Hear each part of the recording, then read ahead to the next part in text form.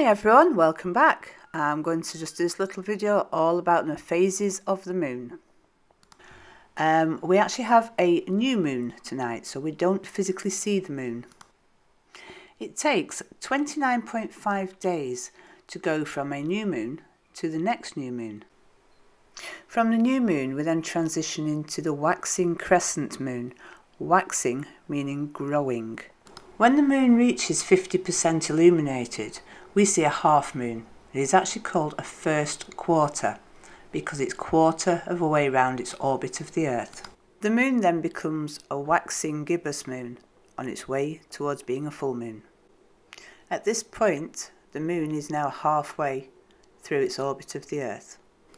And the full moon is the phase that we photographers go nuts to get photos of.